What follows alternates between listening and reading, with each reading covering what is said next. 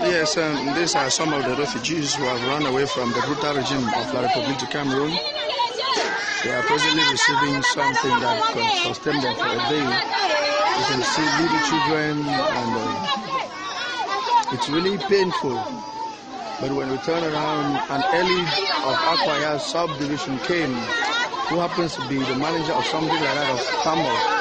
Here is his car. We came here that we could we could see him. But on arrival, the man was nowhere to be found. Until now, nobody knows his whereabouts. We learned his mission here was to tell the people to go back home that there is no more problem. But if you look at the condition in which people are living here, you will know that there is something wrong somewhere. The UN officials are here to register them as refugees. You can see their cars and uh, you can see how desperate they are here just to get something to eat. That's uh, one of our brother who is trying to provide something for.